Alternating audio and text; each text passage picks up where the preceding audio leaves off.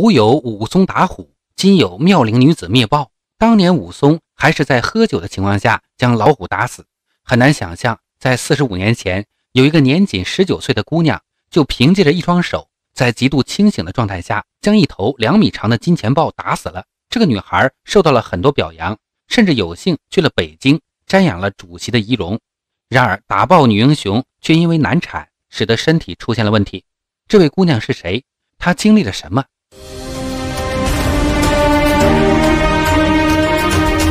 这名姑娘叫做陈传香，于1956年出生在湖北省神农架林区宋罗乡。陈传香的父亲是名猎人，他从小就跟随父亲跋山涉水，吃苦的同时也掌握了很多生存技能。陈传香不知道的是，这些生存技能有朝一日能帮助自己成为一个英雄。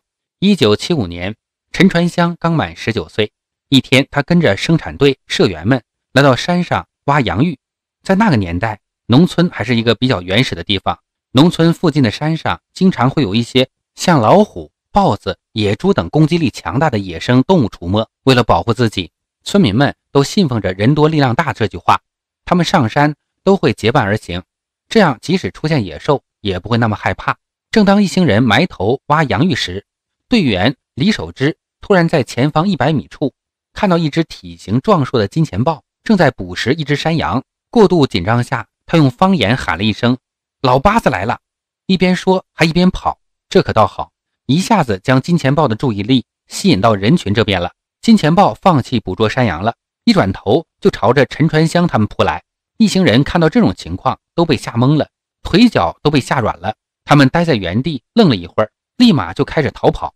农妇柯正玉不慎跌倒了，而且他还背了一个孩子。金钱豹看到目标。然后就张着血盆大口扑向了他。柯正玉此时紧紧地抱住了他的孩子，他已经做好了被豹子咬死的准备了。金钱豹已经将柯正玉的脸和手都抓破了，下一步就是咬断他的脖子。关键时刻，已经躲过一劫的陈传香却突然扑向了金钱豹。只见他轻轻一跃，就爬到了金钱豹的背上，并且死死地搂住金钱豹的腰肢。常年住在山林里的人都知道，豹子的脑袋和尾巴很硬。但是他们的腰肢却很柔软，这也是他们的弱点。所以扭住金钱豹腰肢的陈传香暂时处于上风。这时，陈传香又费力扒开豹子的嘴巴，并且用力按住它的头部，连踢带锁的让金钱豹的腰肢咔咔作响。金钱豹的身体已经受到重创，他哀嚎了一声后，就将柯正玉放开了，跌跌撞撞地跑到一边垂死挣扎。陈传香许是紧张过度，当他看到金钱豹的四肢。还在地上不停地扑腾时，就以为豹子是在挑衅他，所以借着刚才的勇气，就骑在豹子身上，用拳头猛捶起豹子来。几拳下来，豹子竟然被打死了。陈传香打死的金钱豹足有七点六尺，超过了二点五米，算下来最起码可以达到八十公斤。这已经是一只成年大豹子了。不久，陈传香此等事迹就被村民们知道了，人们不仅把他称为打豹英雄，还将他和武松相提并论。一九七五年，武汉政府为陈传香举行了一个授奖大会，借此来表扬陈传香的英雄事迹。当天有一千七百余人参加这个大会。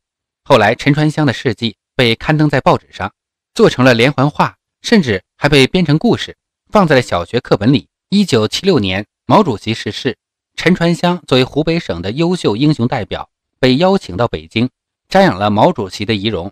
一九八零年，陈传香。被调到了神农架林业局，因为文化水平不高，他只能做保洁的工作。陈传香对此非常满意。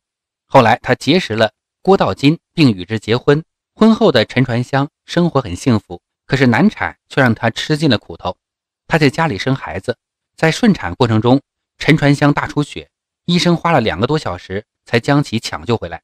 生完孩子后，陈传香的身体状况很差了，多年来一直贫血。后来他退休了。身体更是一日不复一日。二零零八年，陈川香在治病的过程中出现病情恶化，不久就去世了。